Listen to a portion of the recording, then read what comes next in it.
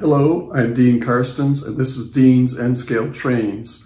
Today I'm going to show you how to light your buildings on your model railroad with a simple LED or light emitting diode such as this.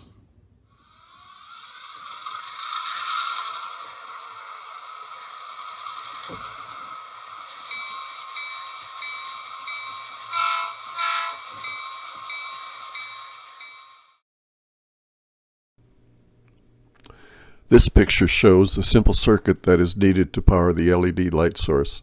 A DC power supply, in this example I used a 9 volt battery, a resistor to limit the current, and the LED itself. Note that the long wire on the LED always goes to the positive terminal of the power supply.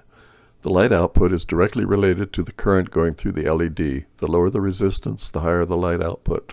You should limit the current to about 20 milliamps.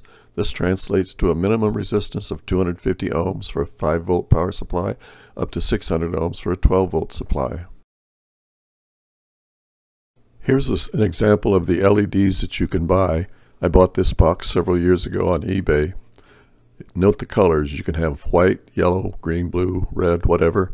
Usually I use white to light the buildings, although sometimes I might use a yellow if I want a warmer tone. They come in two sizes, a 3 millimeter small, which is the one I mostly use, and a 5 millimeter, 5 millimeter larger one.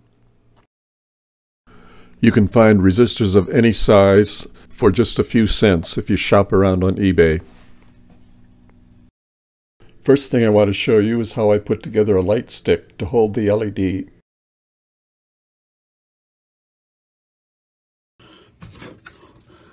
I cut down the negative terminal negative lead to a little bit.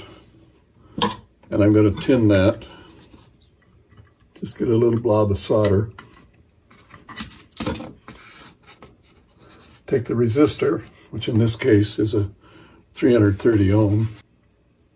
Just tack weld it there. Tack solder it.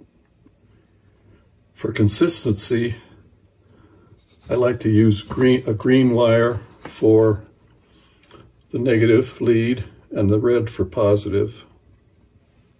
Be sure to use rosin core solder, by the way, not the acid core. Then cut positive lead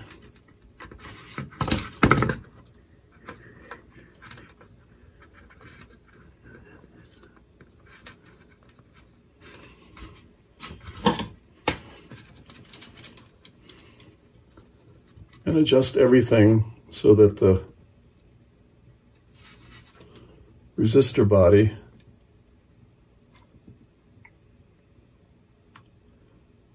helps to keep these leads separate.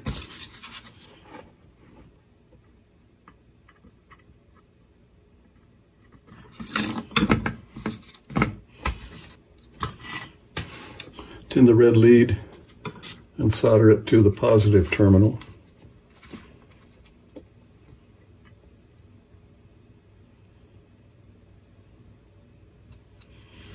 When everything is done,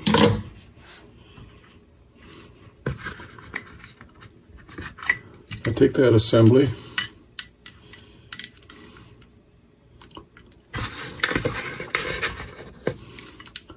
and feed the wires through a soda straw.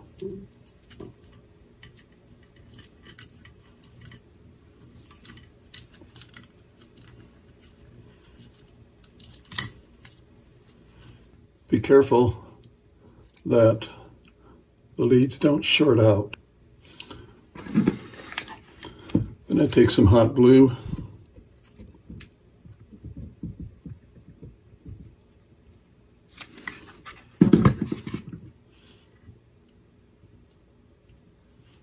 and glue everything together.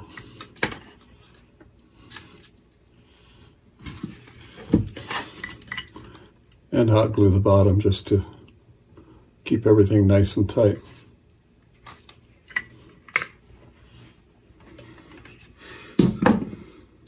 And that's it. Here's a very useful and inexpensive power supply that I got on eBay for just a few bucks. The two red buttons on either side can be used to increase or decrease the voltage, thus varying your general lighting Mounted the variable power supply on a wall plate, and this in turn was mounted into a cut down plastic electrical box, which was then glued into the uh, fascia board.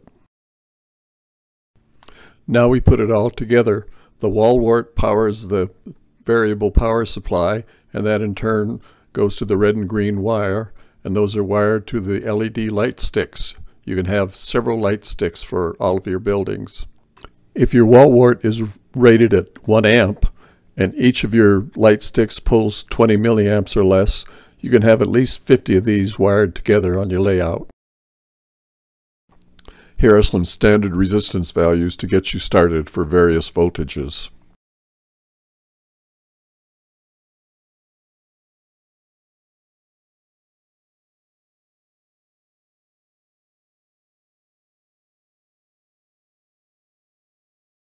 I put together the Eagle River Mine kit a few years ago. As you can see, it's lighted with four stalks that sits on a foam board base. Here it is sitting on a former layout of mine.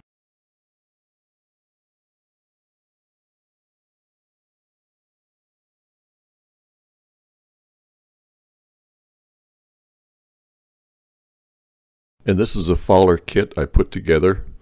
It consists of two rooms, each one lit with one LED stock. So that's it for this video. If you haven't already subscribed, please sign up for my channel, Dean's N-Scale Trains, and also please give me a thumbs up. Thanks for watching.